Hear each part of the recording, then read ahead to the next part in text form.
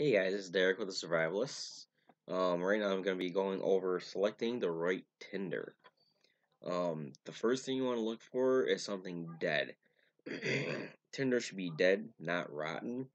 Um, the rotten part is when the plant actually starts to decay and it's actually breaking down.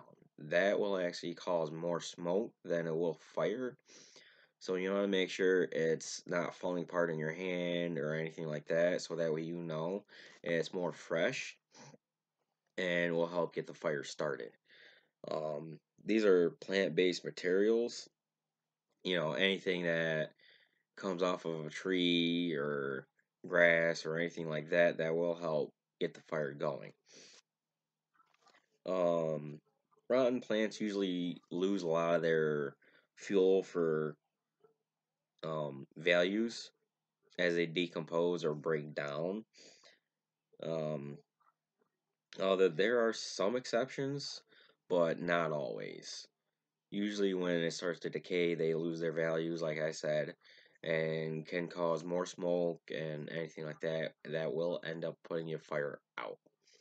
Um, a lot of people have that misconception where you can light a fire with anything. Um, it's not always true but there are some exceptions to it. Um, I will be going over more stuff with you. I will actually be posting some stuff onto our Facebook page under the Survivalists. Be sure to check that, that out. I will be having updates and um, some other fun facts and other stuff like that. Uh, so be sure to check it out. Facebook, it's the Survivalist. Um, I will keep you guys posted. Hope you guys click like, subscribe, and I'll keep you guys posted.